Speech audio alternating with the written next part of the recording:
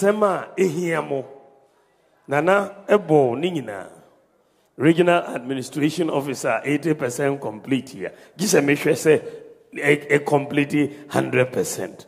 Regional hospital yɛnyɛ nsiiɛ gye sɛ mehwɛ sɛ regional hospital yi More Unhia University.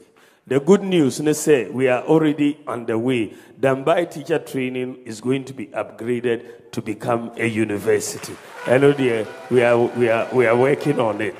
Mohia multi-purpose sports complex. And also, as a region, you have to have one. That is the benefit of a region. You need a multiple. So, mehwɛ sɛ ɛno so yɛbɛyɛ minim sɛ eh, Dambai, eh, I think it's Ghana gas, eh? yɛbɛhyɛ aseɛ very very in the next few weeks yɛbɛyɛ astroturf ama mo in Dambai. But the way a as- astroturfs ne ɛrekɔ no, every district must have an astroturf. Every district. Yɛba Ghana na astroturfs 2017 na astroturfs yɛ three pɛ ɛwɔ Ghana nyinaa three the whole of Ghana. After eight years, we are increasing to 150 astroturfs in Ghana from three. And Bioma, the rest of the districts are Omani astroturf. No, we will make sure everybody gets an astroturf. So, and also Air Koso, uh, and also the bridge over the OT. The work is going on. You identify, say, the Korean facility of 2 billion uh, Omumayeno. We are going to see about using that facility also. I, I, I help us with the uh, OT, the bridge over the OT. So hopefully we'll be able to do it uh, for you. Nanano of Kati East have been following your campaign with great interest and admiration. Your campaign, which is grounded on evidence, is issue based and devoid of insults. Your humility is infectious. During your eight years as first President of the Republic, you have not been cited for corruption or any fraudulent deal. To us, therefore, you are credible and honest leader with integrity. Your love for all manner of persons without discrimination based on age, gender, ability, disability, tribal, or religious affiliation is exemplary. We, in Nananum of Krachi East constituency, are therefore of the firm belief that Ghanaians will reward your steering qualities, credibility, delivery, humility, and excellent human relations by affirming you as next president of the Republic of Ghana in December 7, 2024.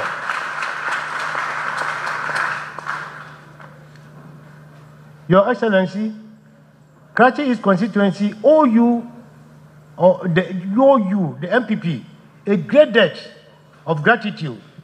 It was under the NPP administration of President J. Kufuor that Krachi East became both constituency and an administrative district. The sword cutting ceremony of com- commencement of a first class residential road from Court to Dambai were under the reign of former President Kufuor. The continuation of the road to Kete Krachi and the extension thereof to Pandai were under undertaken by the Nana Akufo-Addo and Bawumia administration. Your Excellency, it was also due to the initiative and uh, skillful negotiation of Nana Akufo-Addo and Bawumia administration that the Oti region and its administrative capital of Dambai came into being. Under your uh,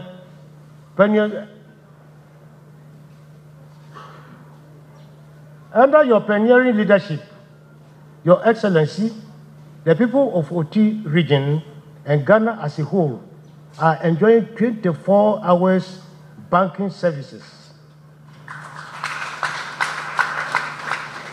We can also obtain national health insurance cards and renew same from comfort of our homes, farms, and offices. Indeed, citizens of our beloved country, Ghana, can now access numerous services through the use of mobile phones under your leader, uh, landmark digitization agenda. The implementation of bold and transformative policies by the Akufo-Addo and Bawumia administration, such as the audacious FREE SHS, the life-saving medical drone delivery services, Agenda 111 hospitals, and the numerous infrastructural developments nationwide are available for all those who care to appreciate.